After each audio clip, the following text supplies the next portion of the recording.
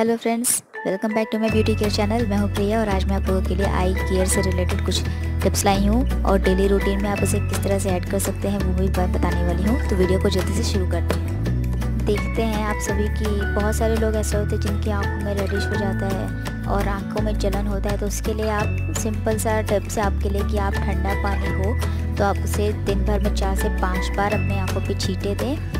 और ice cubes जो होते हैं, उससे अपने आँखों की सिकाई करें। और जो ये रिंग फिंगर होते हैं, इनसे आपको हल्के हल्के से मसाज करना है क्लॉकवाइज और एंटी क्लॉकवाइज इससे आपके आँखों की जो होती, थकान भी दूर होती है और आपकी जो रेडिश होते हैं, वो भी धीरे धीरे काफ़ी हद तक सही हो जाते हैं। कि अगर आपके आँखों के चारों साइड काले घेरे हैं तो आप उसे दूर करने के लिए दो चम्मच कच्चा दूध ले लीजिए और एक बादाम ले लीजिए आलमंड्स फिर उसे पीस कर दूध में डाल दीजिए।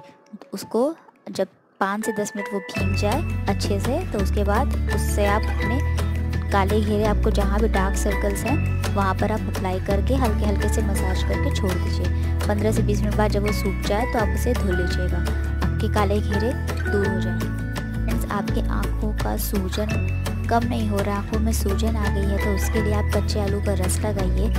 दिन में दो बार लगाइए सुबह, एक बार एक बार दोपहर में और एक बार शाम को अगर ज़्यादा है, उसको सही करना है। अगर हल्के फुल्के सूजन है तो दो बार लगाइए दिन में और शाम में।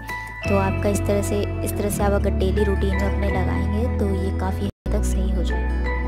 क्योंकि रोशनी हल्की कम होने लगी है। अगर आपको दूर की चीज़ें ब्लर दिख रही हैं या पास की चीज़ें अच्छे से नहीं दिख रही हैं तो उसके लिए आप आंवला को रात भर पानी में भिगो के रख दें। उसके बाद अगर सुबह उठे और उसी पानी से अपनी आँखों को धुले, काफ़ी हद तक आपकी रोशनी बरकरार रहेगी बहुत लंबे समय तक और आप आंवला का सेवन भी कर सकते हैं या फिर आप आंवले के पाउडर को रात भर एक ग्लास पानी में भिगो कर रख दें उसी पानी को आप पी लें।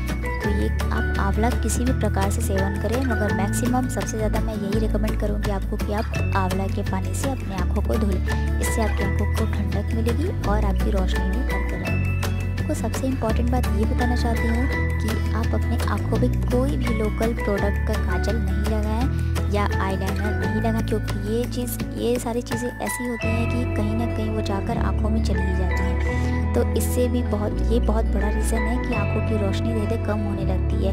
आजकल कम एज में ही बहुत लोगों को चश्मे लग जा रहे हैं। इसका रीज़न टीवी, मोबाइल ये सब तो है ही। इसके अलावा ये सारे प्रोडक्ट्स भी हैं लड़कियों के लिए जो काजल लगाती हैं। इसलिए मैं यही रिक्वेस्ट करूँगी आप लोगों से कि आप लोग लोकल ना लगाएँ।